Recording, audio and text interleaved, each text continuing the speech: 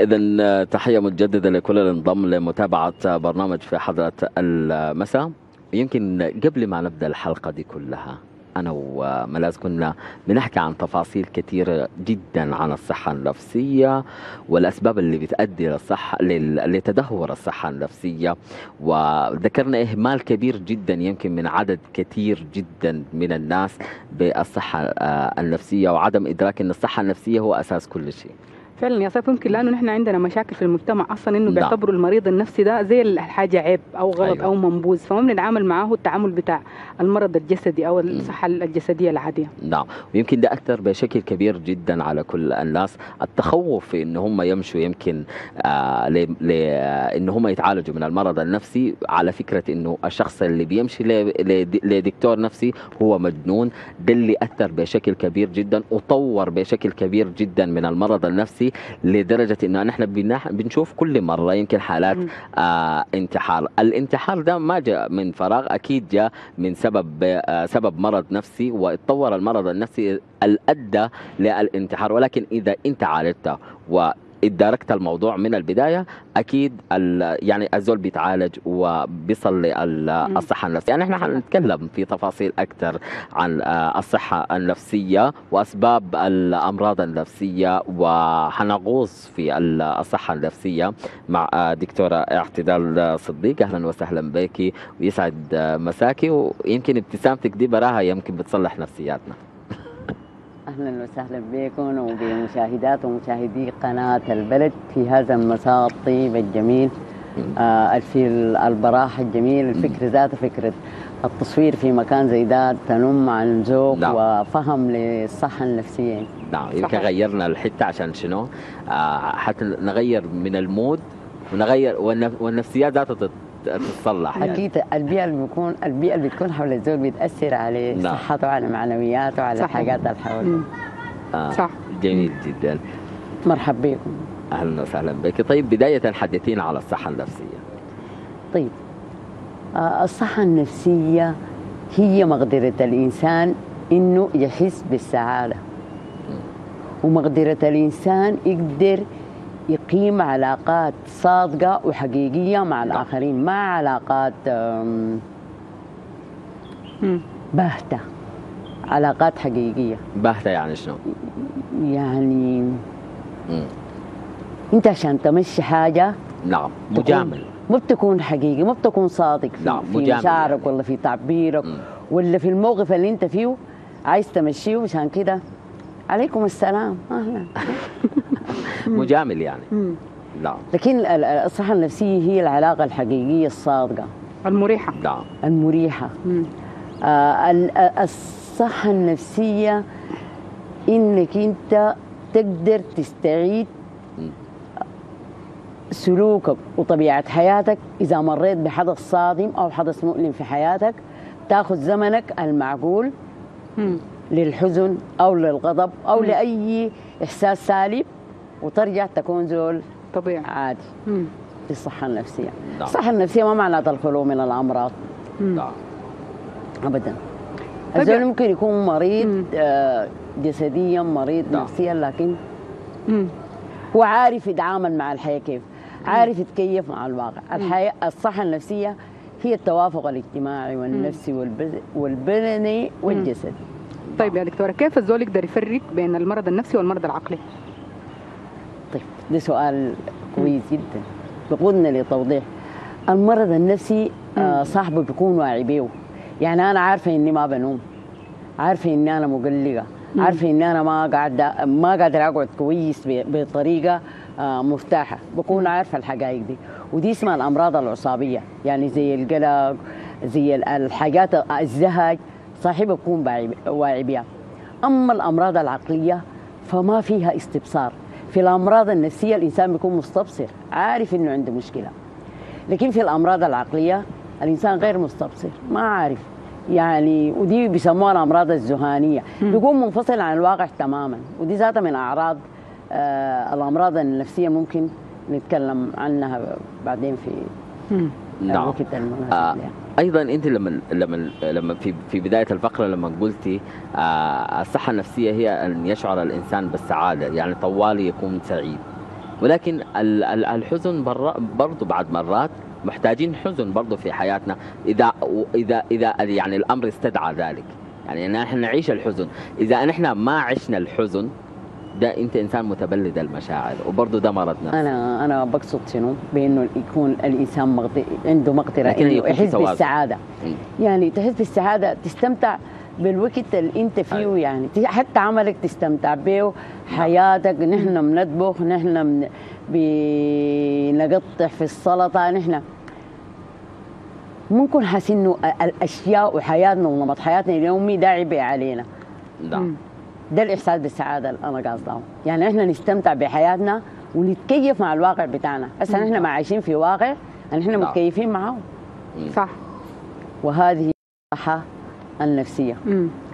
أما الحزن ده شيء طبيعي طبعا نعم أي إنسان يمر بحدث صادم أو بموقف محزن أو بأي شيء ممكن يكون مؤلم بيحزن عادي مم. نعم. لكن الاستمرار في الحزن مم. نعم واستطالة الفترة اللي بيحس بها الإنسان في الحزن تكون هي ده الفارق بين إحساس الإنسان بالسعادة نعم. وبين استكانته للاكتئاب وللحزن. وهنا تحصل التفرقة يعني. يا دكتور لكن ما بالسهولة بمكان إنه الإنسان يطلع من حزنه أو من اكتئابه. أول حاجة حدثينا عن الاكتئاب وأعراضه وبعدك طرق إنه كيف الإنسان يطلع منه بصورة سريعة. طيب الاكتئاب أساس الإنسان بي- آه، بيقول على شنو؟ lost of interest يعني الزول يكون ما ما بيحس ما بيستمتع بالأشياء من حوله يعني. نعم. يعني هسه أنا قاعدة هنا أنا مبسوطة معاكم بقول في البرنامج أنتم بتزعلوا فيني. لكن المكتئب ممكن السؤال ده يزهيه وما يعرف. كده. عدم النوم القلق عدم الاستمتاع بالحياة آه الانعزال عن الأصحاب. أصلا هو المرض النفسي ما في فرق بين المرض النفسي و... وال... والمرض العضوي والاضطرابات الشخصية والمرض العضوي مم. بمعنى شنو؟ يعني أنا المريض النفسي بيكون في الأول إنسان عادي يسوي. بيصحى من الصباح بيعمل الطقوس بتاعته يمشي يصلي يجي يلبس يمشي شغله عادي لكن لما يحصل المرض النفسي الأعراض بتبدأ شنو؟ إنه الزول نمط حياته ذاته بيتغير. ما ما بيحس بإنه داير يعمل حاجاته. إذا كان بيصحى مع صلاة الصبح يقوم دي ما عندها علاقة بالعرق. إذا كان بيصحى مع صلاة الصبح ويمشي يصلي ويجي يعمل حاجاته الروتينية التجهيز للشغل التجهيز للمدرسة التجهيز للجامعة. طبعا لكن لما الأعراض النفسية تبدأ تظهر أو أعراض الاكتئاب تبدأ تظهر ال- السلوك ده بيتغير. الزول لحد الساعة 12 يكون ما صحى. لما يصحى ما يفطر ذاته ما يمشي يقول للناس صباح الخير مم. يعني بيكون آه، طريقته تغيرت وبدأت تظهر عليه الأعراض النفسية ومن أهم أعراض الاضطرابات النفسية الكآبة الحزن آه، التشويش في التفكير القلق عدم المقدرة على النوم آه، أو النوم عدم الزايد برضو؟ التركيز مم. عدم التركيز مم. يعني في مجموعة من الأعراض حقيقة آه، يمكن ما ذكرتها كلها لكن مم. نعم. بتكون مؤشرات نعم. لأنه هذا الإنسان آه، ظهرت عليه أعراض المرض النفسي طيب ممكن طيب. يكون في أسباب للاكتئاب ولا ممكن يجي من غير سبب هي الأمراض النفسية كلها عندها ما في عامل واحد مم. أي مرض نفسي مجموعة من العوامل ممكن تسبب المرض النفسي بمعنى وأصلا في آه، أسباب جينية يعني المرض النفسي يورث وعن طريق الجينات لكن مم. البيئة بيكون تأثيرها أقوى نعم. يعني ال- البيئة اللي عايش فيها الإنسان المجتمع آه، نمط الحياة في الأسرة طبعا الأسرة هي اللي بتأثر على الزول أكثر حاجة فإذا نعم. كان الحياة في الأسرة مريحة أو معقولة مهم ما في حاجة مية في المية يعني صحيح. لا بد نعم. من خلاف لا بد من زعل لا بد من زهق لكن الأشياء لما تكون بالمستوى المعقول أو المقبول هنا الصحة النفسية بتكون آه، متوازنة أو موجودة. يعني نحن بنكون. أقرب للصحة النفسية من المرض النفسي والعكس صحيح. يعني الأمراض النفسية عندها أسباب وراثية وأسباب آه، بيئية ومجموعة من العوامل بتلعب دور في إنه الإنسان تظهر عليه أعراض المرض النفسي. نعم. طيب دكتور اعتدال 200 بيستدعى إن أنت آه تمشي تقابل الطبيب؟ سؤال كويس. الأعراض النفسية إذا استمرت ست شهور الكلام اللي أنا قلته قبل شوية نعم. إحساس الكآبة والانعزال والبعد عن الأصدقاء والانفصال عن الواقع إذا الأعراض استمرت لمدة نعم. ست شهور لابد إنه الإنسان آه، يقابل الطبيب النفسي في الأمراض ال- ال- ال- الصاحب يكون مستبصر بها اللي هي الأمراض النفسية ال- الإنسان بيمشي للطبيب النفسي براه مم. في الأمراض غير المستبصر بها اللي هي الأمراض الذهانيه آه، دي أسرته أو الزول المزون منه بيعرضه على الطبيب. طيب يا دكتورة ممكن فقد شخص من الأسرة يؤدي للاكتئاب والفرق شنو بين الاكتئاب والحزن؟ طيب الحزن ده لو لاحظنا هسه في الحياة اليومية أول يوم لما زول يموت ما زي ثالث يوم وثالث يوم ما زي سابع يوم وسابع يوم ما زي اليوم ال 15 وال 15 ال 15 ما زي الشهر. الأعراض بتاعت الحزن بتبدأ تخيف؟ إذا كنا ما أكلنا حنبدا ناكل. إذا كنا ما تكلمنا مع الناس الجوع عشان يعزونا حنتكلم معاهم. ده, ده كده الحزن بيكون في في في الرينج ال- الطبيعي. لكن إذا الكلام ده استمر ست شهور أنا ما مشيت مارست حياة ما نزلت شغلي ما عملت حاجاتي كلنا مرينا بالتجارب بتاعت فقد صحيح. ف كلكم يا الناس مريتوا بتجربه بتاعت فقد وحسي أنتوا بتمارسوا في حياتكم أنتوا في الرينج الطبيعي بتاع ال- الحزن. لكن إذا إذا الموضوع استمر أكثر من ستة شهور الأمر يحتاج إلى طبيب. هم مرات في أحداث بتفجر بتفجر المرض النفسي. الاستعداد الوراثي بيكون موجود.